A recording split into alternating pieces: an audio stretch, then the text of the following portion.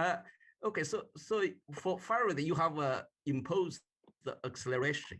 It seems to me a few other experiments, you don't have any imposed um, field, so to speak, acceleration or gravity wave. So so the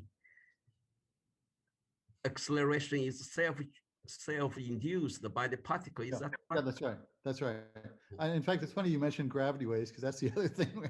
Because, you know, from my perspective, any pilot wave will do. You know, we're in the hydrodynamic quantum field theory, we're looking at, we're trying to model these matter waves as, in terms of the Higgs field. So because it's simple mathematically, but, um, you know, there's also the possibility of electromagnetic fields. And this is something that uh, De and Cetto have looked at.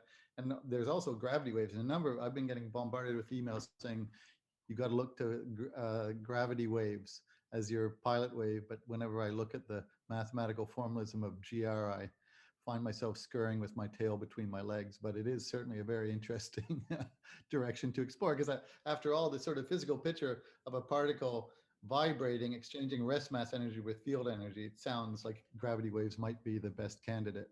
Hmm. Okay, thank you.